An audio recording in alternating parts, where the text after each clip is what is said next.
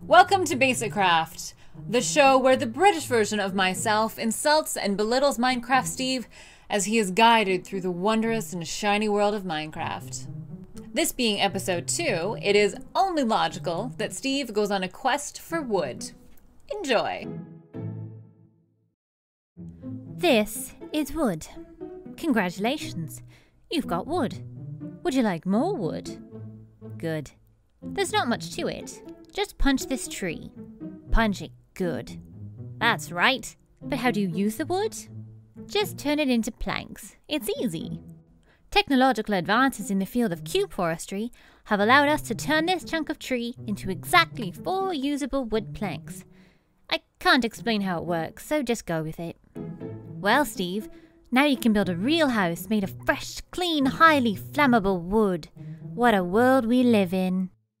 First, place a wood floor. Now walls and a roof. Can you smell that, Steve? The zombies are coming to eat you. Quickly, make a door so you can laugh at them as you shut it in their pimply faces. First, make a crafting table. Next, place the table. Not there, dipshit.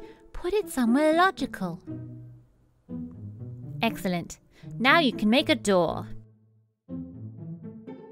Now place the door. Now laugh victoriously. oh, did you think a flimsy wooden door would save you from the zombies? From creepers, yes, but zombies? Those bitches are brain crazed. You're in trouble, Steve. Better make some stairs.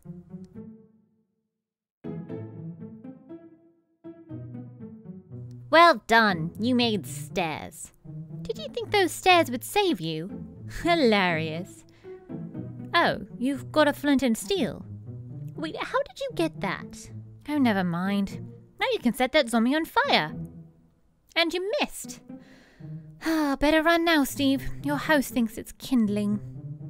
Thanks so much for watching, and let me know if there is any topic that you would like to see me and Minecraft Steve cover. Next time, Minecraft Steve is going to get stoned. I mean stone. Just stone. So stay tuned for that. Bye!